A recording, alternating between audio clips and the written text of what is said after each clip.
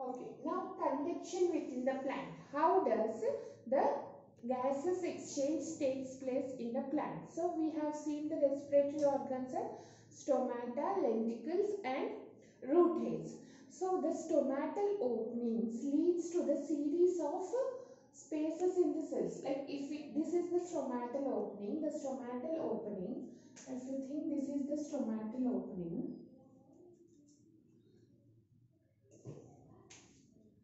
okay, is our stomatal opening. Okay, now the stomatal opening, what happens? The air enters into the cell. So in between the cells, there are spaces. The space is present in between the cells. Okay, the air enters into the spaces in between the cells. This is the space. So the air is entering in between the space. So this is the black color is thing considered as air. Okay, so air enters in between the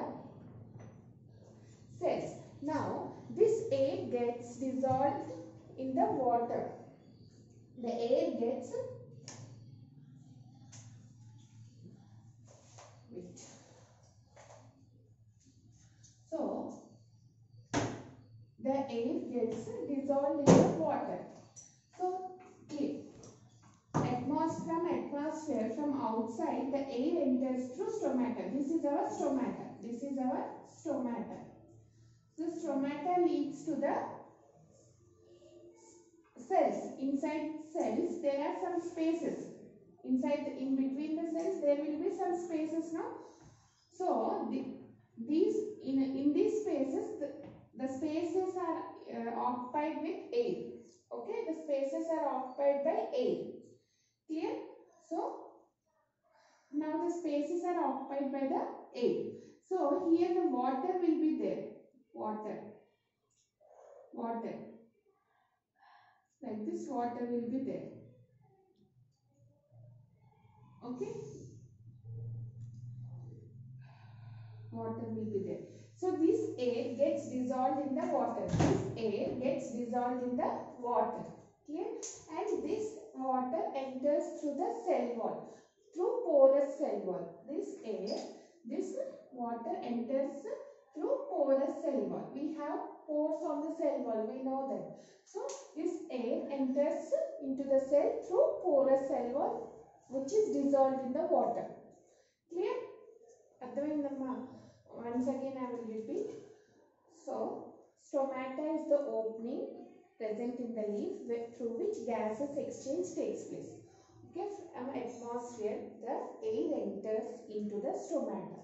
So after stomata, after the air has entered through, into the through stomata, there will be spaces in between the cells. We know that interstitial spaces and other cells majlo spaces only.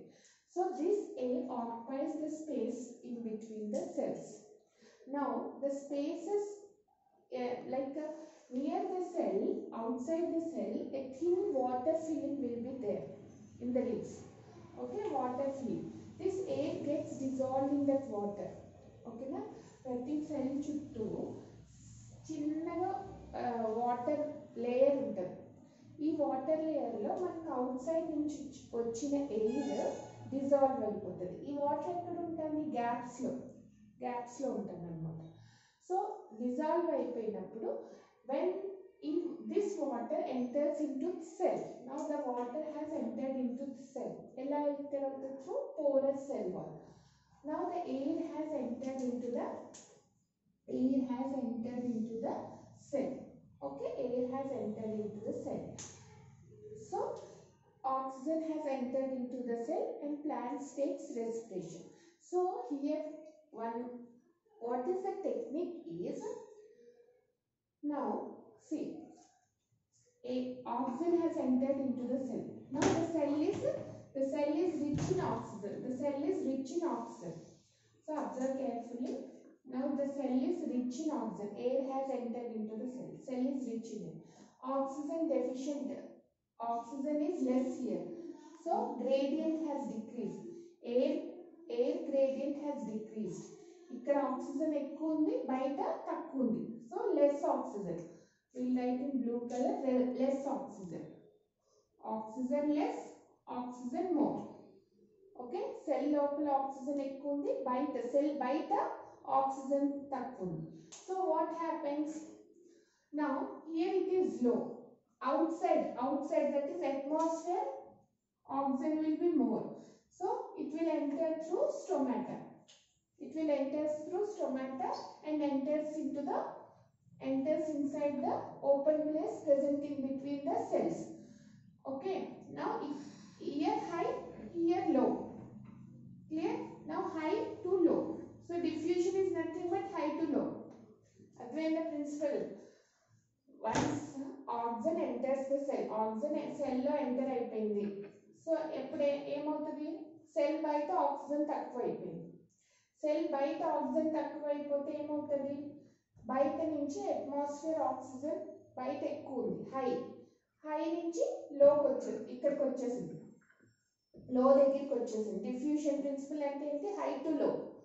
Okay? So బయట ఎక్కువ ఉంది అట్మాస్ఫియర్లో. High ఉంది. Stomata నుంచి లోపలికి వచ్చేసింది. లోకి వచ్చేసింది. Okay. వచ్చేసిందా? ఇప్పుడు ఈ ఆక్సిజన్ ఇక్కడ యూటిలైజ్ చేసుకుంటూ ఉంటుంది. Cell cell will continuously use oxygen for respiration so oxygen level ఇక్కడ డిక్రీజ్ అయిపోతుంది ఇప్పుడు ఇక్కడ హై ఉంది ఇక్కడ లో ఉంది clear cell will be continuously using oxygen now so oxygen level decreases inside the cell so now oxygen is high here low inside the cell so it enters from outside to inside inside the cell by same principle diffusion same the carbon dioxide also. So see carbon dioxide after i will explain this on another cell now oxygen has been utilized and carbon dioxide is produced here. So concentration of carbon dioxide inside the cell is more.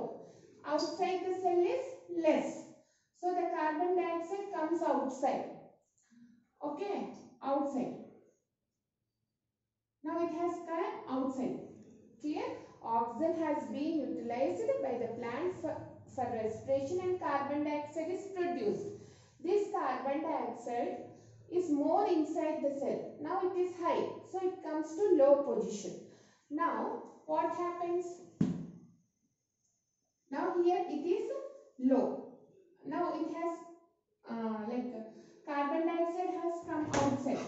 Now what happens? It again goes to the atmosphere. It has become high here now it will go outside into the atmosphere through stomata. Again through stomata. Clear? It has become high here now it is low at the atmosphere. So high to low. Again it will go high to low. But in plants what happens? The carbon dioxide which is released generally is utilized for the photosynthesis.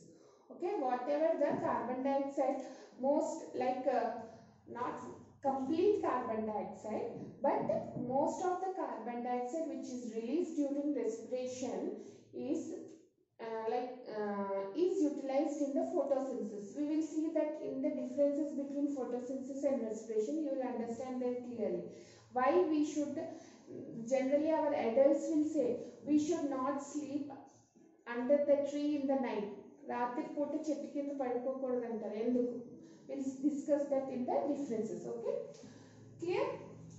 And then the, so simple principle diffusion. How does the oxygen or gases exchange takes place in the plants? So in the atmosphere oxygen is more. So it enters through stomata and comes to the spaces in spaces in between the cells.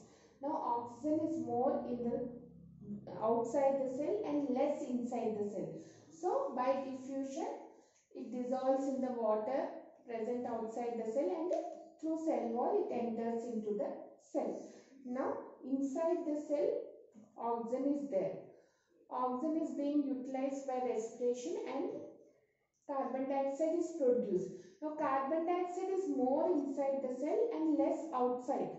So high to low high to low it came outside.